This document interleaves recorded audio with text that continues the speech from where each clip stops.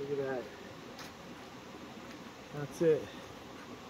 My first little fish on a fly rod in Tennessee. Look at that go.